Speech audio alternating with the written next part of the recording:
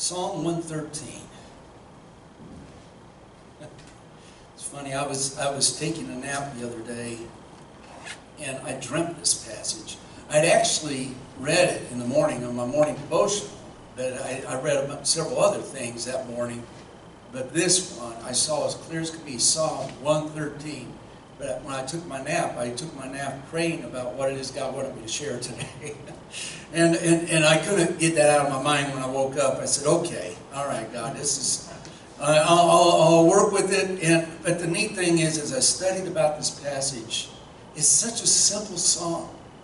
It's short, it's only nine verses long, and there's so much there. So much there. It's, it's, it's just amazing. I, I, I want to mention a, a resource I, I, stumbled on. Uh, Max Lucado has a book called Grace More Than We Deserve, Greater Than We Imagine. More than we des- grace, more than we deserve, greater than we imagine. And, um, and, and I read an excerpt uh, from that online, and wow, I thought, my gosh, this is one of the, the best worded devotionals I've ever read on the subject of grace. And so I wanted to re- share that because I, am not going to read from the devotional, I don't think. Um, but I, but I, um, um, there's so many things that stirred on my heart that I'll probably be speaking from the devotional at times.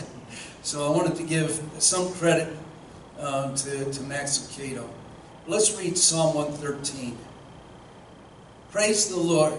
Praise, O servants of the Lord. The, praise the name of the Lord. Bless the name of the Lord from this time forth and forever. From the rising of the sun to its setting. The name of the Lord is to be praised. The Lord is high above all nations. His glory is above the heavens. Who is like the Lord our God, who is enthroned on high? Who humbles himself to behold the things that are in heaven and in the earth. He raises the poor from the dust and lifts the needy from the ash heap to make them sit with princes, with the princes of his people. He makes the barren woman abide in the house as a joyful mother of children. Praise the Lord. Simple passage one of the key scriptures out of this passage that stuck out to me was verse 6, where it says, Who humbled himself, humbles himself behold the things that are in heaven and in the earth. The New International Version says, Who stooped. Who stooped, okay? He looked down, and, and, and so I, I, I just get this image of God up in heaven just doing like this. watching, watching his people. But there's so much more to it than that. This theme, I could call this sermon the stooping God, because he stoops a lot. he stooped for a long time. Even at the very beginning, he stooped down and walked in the garden with Adam. Okay, he, he, he has always wanted that relationship with his, his people. There's a, two, one thing before I forget, I've got to share. And I love this about this scripture. Psalm 113 to Psalm 118 is a section of scripture that the, the Jews have used at the Passover time for centuries. For centuries. It, it, it's the Psalm 113 and 114 that they said that the Jews would read that at the beginning of the Passover. And then Psalm 115 through 118 would be at the end of the Passover.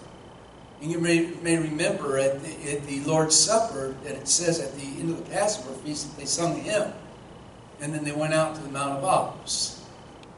So that this is this Psalm 113 almost certainly, okay, would have been one of the songs that Jesus and his disciples sang. And, and there's something really powerful about that for me. You know, something powerful about that. There's certain things. I have a friend who's actually a Catholic priest, and he visited Israel. And he shared with me after he he was in Israel for like three months in some sort of um, kind of a devotional training, what it was exactly. But when he came back from Israel, he told me, he said, I went to the resurrected tomb, to the empty tomb, he said. I went to the, the empty tomb. He said, at the empty tomb, how many of you been to Israel? Have any of you been to Israel? My goodness. Okay, you guys are blessed. he said, at the empty tomb, there's a hole that you can reach into. Okay? He said, when I reached into the hole, I thought of your family. And I prayed for. And boy, that just sent chills up and down my spine. I know that God is present in all of our prayers now, but there was something about Him being at the place where Jesus rose and praying that really, really touched my heart. That God would even bring me to His mind to pray for my family. He knows the number of the struggles that we've had with my daughter's health, and, and, and that, that just touched me. But when I read that Psalm 113 was one of those passages of Scripture that Jesus and his disciples sang, it's just, it's like we're able to participate in the Last Supper in a, in a special way, in that hymn. And, and, it started out with these words of praising the Lord, praising us as servants of the Lord, praising his name from this time forever. We're to praise him. And he says, from the rising of the sun to where it sets, the people are to praise the Lord, that He's high above the heavens. His glory covers the, the, the whole heavens. From one end of the earth to the other. The glory of God is revealed to people. Romans says, and, and quoting from Psalms, in fact, it, it, it, talks about how the heavens declare the glory of God. And their speech, the speech goes forth declaring that God is real, that He's alive in that manner without excuse because the testimony of creation says there is a God. There is a God. So I'm reading this and, I, and I'm reading about how he humbles himself to behold the things that are in heaven and on earth, how he stooped down and looked on us. And I'm just thinking of the ways in which the Lord stoops. How he stooped into our lives, how he stooped down and came leaving glorious beauty, perfection of heaven, and coming through the Virgin Mary as a, an, infant child. How he stooped down to walk among men so that he could identify with our weaknesses, so that he could connect with us in our struggles. It's beautiful, it's so powerful to think about how, how he's done that. And then Max Lucado talked about the John 8 account of the woman caught in adultery. Remember that account where, where the, the religious leaders somehow knew that this woman was committing adultery? You know, I, I've often wondered how in the world that worked. That they happened to just know the right time to go in there, and they just happened to bring her out of the house. Who knows where the man is? It's like, why in the world did they bring him out? Bring him before Jesus. The law says we must stone this woman. What did Jesus do? He stooped down. he stooped down and he wrote in the dirt. And I was, I was meditating on this. I was thinking about how many messages have we heard. I've heard messages over the years and different ideas and conjectures and something he was writing. Um, ultimately, he's writing the names of the people and their sins. Maybe he was listing some of their sins. You know, who knows? I don't know what he was writing. I told you I wasn't going to quote from him, but I am. It just occurred to me. Max Lucado had a little conjecture on this. Let's see. Mm. This is it. He said, I wonder what, what he wrote, right? Grace happens here. That's, that was his suggestion. And I thought that was good. It's good. But who knows? But I love the fact that the Bible doesn't tell us. Because if it told us, then we wouldn't think on the passage as much we already know what it is. But because he didn't tell us, it causes us to meditate and to think and to wonder and to imagine. And there's and maybe he doesn't tell us because there it, there's an infinite number of things that Jesus could have wrote on that dirt. But in the presence of this accused woman, this guilty woman, he stoops down, he writes, and he stands up. Let he is without sin cast the first stone. And he stoops down and starts writing in the dirt again. And one at a time. From the oldest, because they have more sins built up in their life, I think. it don't take long, the older you get, to know that you're not there. To the oldest of the youngest, the oldest leave first. The oldest leave first. And finally, the youngest get the clue that they're not perfect either. And they leave. Where are your accusers?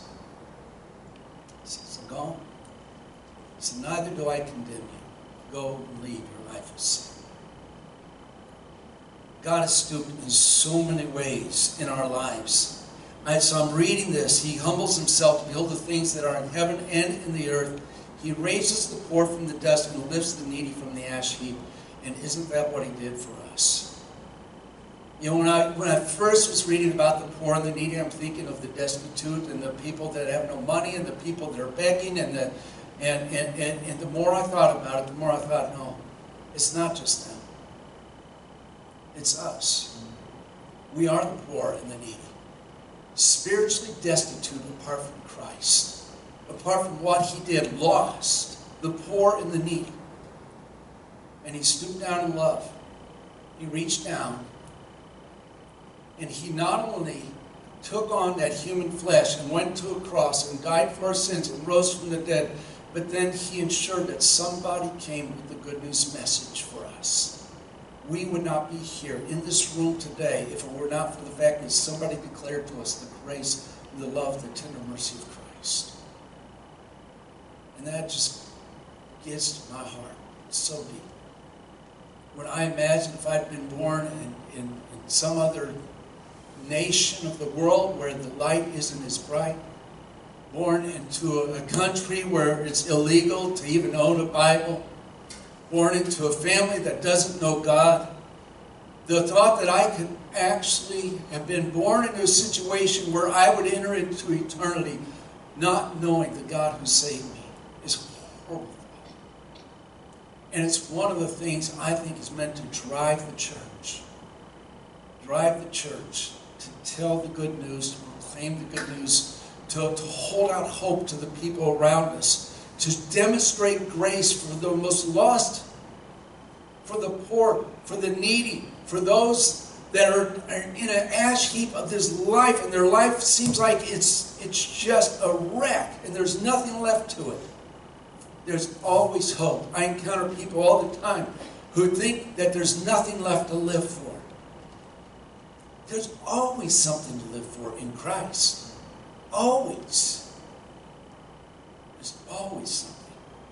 No matter, I, I love this Psalm 27. It's, it's a, a beautiful passage that has spoken my heart so many times over the years, and I've used with countless people. But that part of it is the passage you read, where it says, Though my father and my mother forsake me, the Lord will receive me.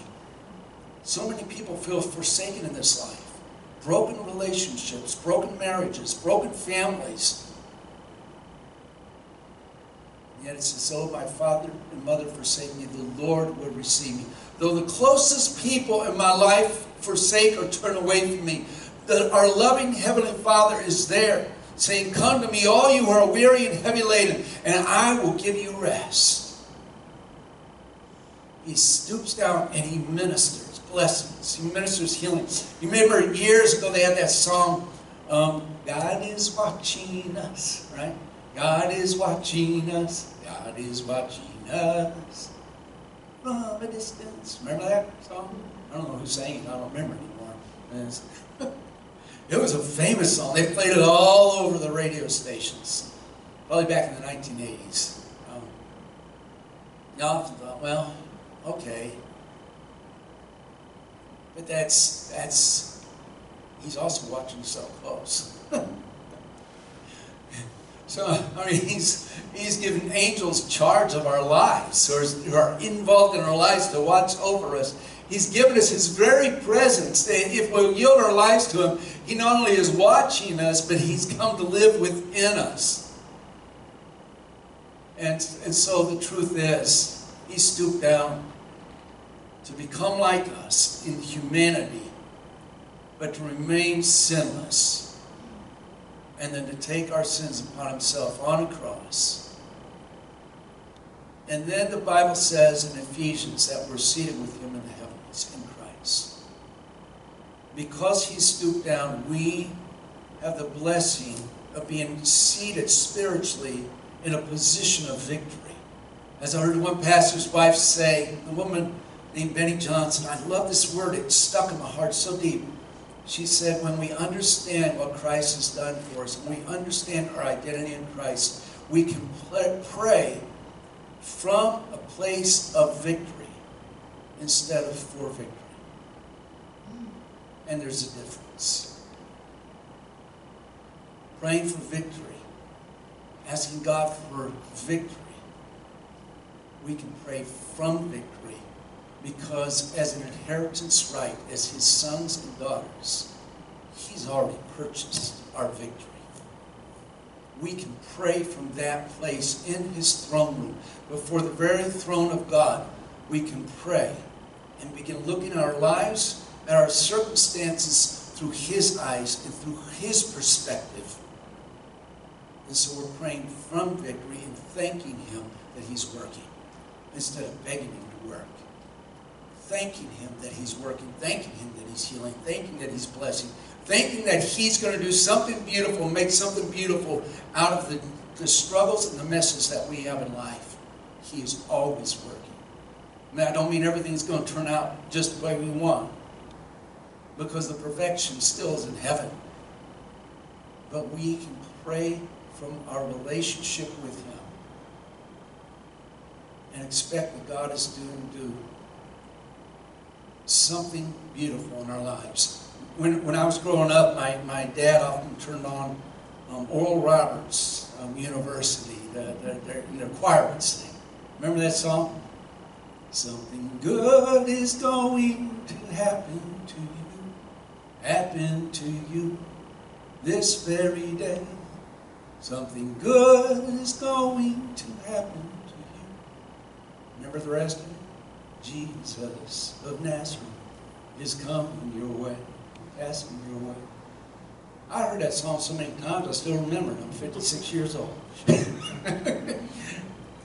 Beautiful song. It's so true.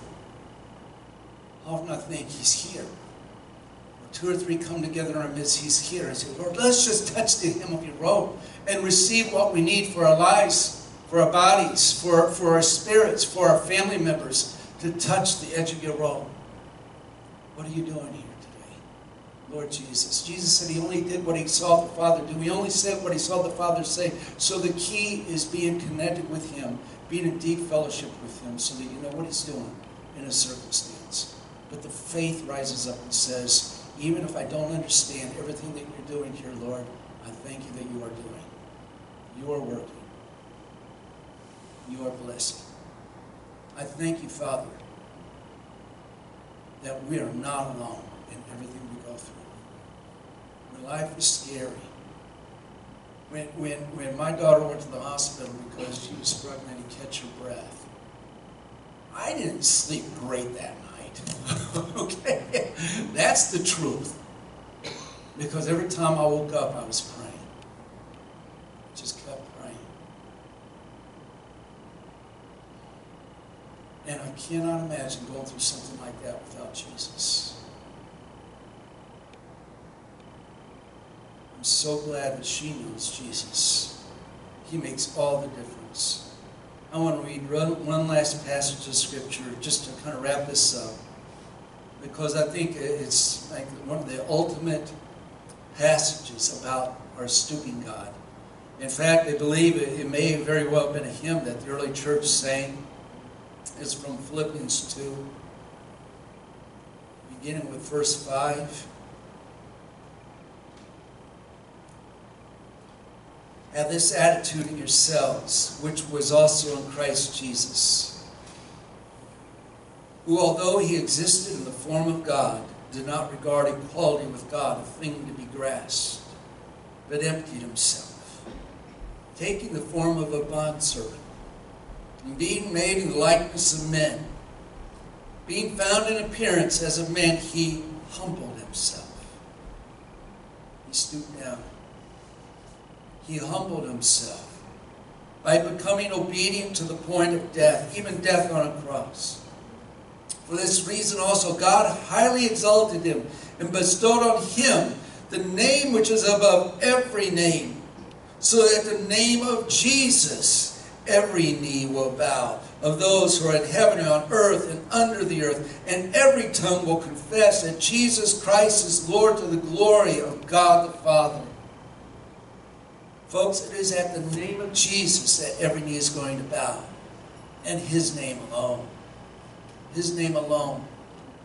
The malarkey that's coming out across so many churches where it doesn't matter what you believe as long as you believe something is a complete contradiction to the Word of God.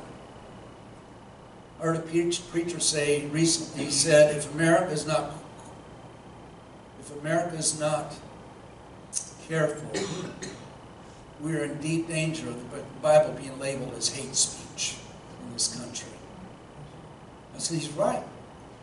He's absolutely right. Because people don't want to hear what it says and believe it as soon as it judges their heart and their thoughts and their lifestyles, they want to say it's not right.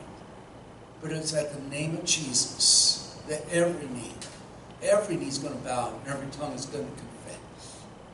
It's just a question of whether we're going to confess and acknowledge Him in the glory of His majesty and His presence right before we go into His eternal presence, or if we're going to acknowledge Him and confess and bow before Him before we go to eternal separation. He stooped down out of love so that we can all know that we belong to Him. And we can help others to know the same. Psalm 113, beautiful, beautiful passage. Take a few minutes, maybe this week, and read 113 through 118. Amazing how it all connects together. 118 actually contains prophetic words about Jesus. It's so interesting. Let's pray. Father, I thank you for your amazing grace, your amazing love, for your incredible love in stooping down and rescuing us from our darkness. We, we carry your presence with us in every situation, every circumstance, Father. May we carry your presence. Because your presence is with us, always. But God, we want that presence to be manifested through us. Paul said, I've been crucified with Christ, and I no longer live, but Christ lives in me. The life I live in the body, I live by faith in the Son of God, who loved me and gave himself for me. Jesus, may it be true that for our lives, that you are living through us and in us an amazing way that we would be displaying your grace, your love, your kindness, your mercy, and holding up your word of truth so that the people around us can live with hope and die with peace. True peace. Because they have encountered and surrendered to Jesus, the Prince of Peace. Thank you, Father, for stooping down in love and rescuing us ash heap, saving us and transforming us. Thank you. In Jesus' name, amen. Folks, I pray you have a great week. And I thank you for joining us. And remember, if you encounter folks in the home that don't have a place to worship, invite them to join us. We love hanging out. So nice to see your faces today. No masks. Thank you, Jesus.